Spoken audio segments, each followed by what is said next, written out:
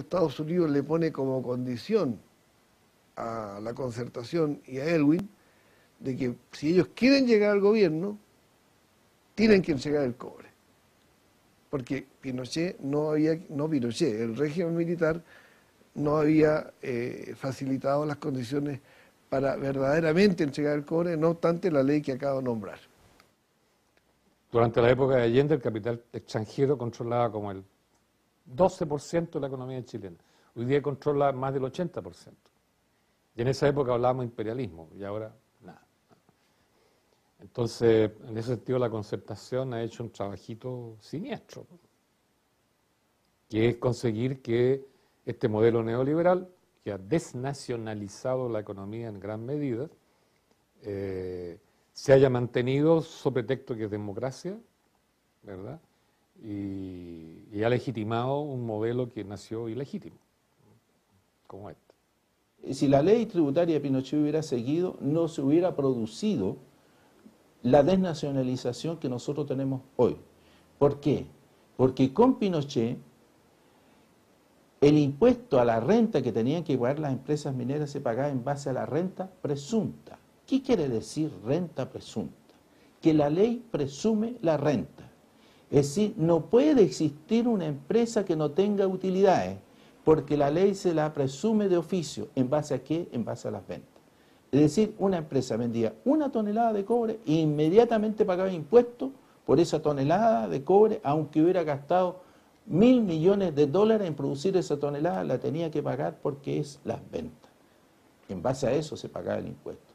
Por lo tanto, siempre se hubiera tenido que pagar impuestos con la ley de Pinochet. Y por eso que la cambió la concertación, sin discusión ninguna, en ninguna parte, ni en la prensa, ni en la radio, ni en la televisión, ni en el Parlamento, esa, esa modificación a la ley tributaria pasó sin que nadie se diera cuenta.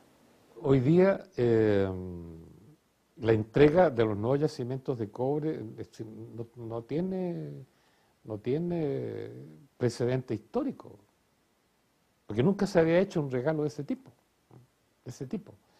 Entonces, eh, es notable eso, y claro, uno sabe que, que los recursos naturales son, se acaban.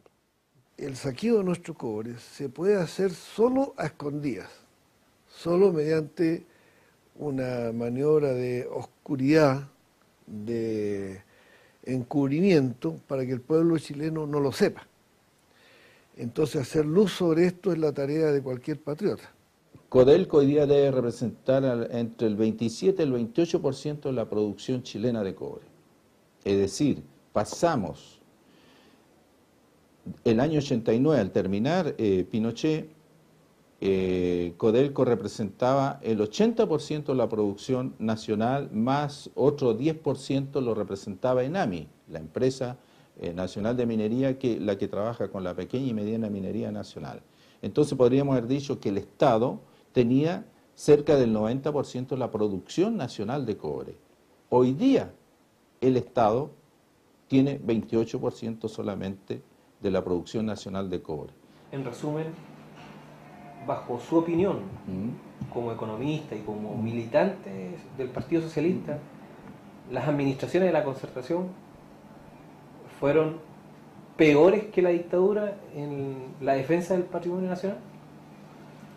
No fueron peores que la dictadura. Fueron lo peor que ha existido en la historia de Chile. Lo que hizo la concertación con el cobre, el daño provocado por la concertación con lo que hizo en el cobre, no ha existido en la historia de Chile algo peor. Pueden ustedes recorrer ni siquiera la pérdida del salitre.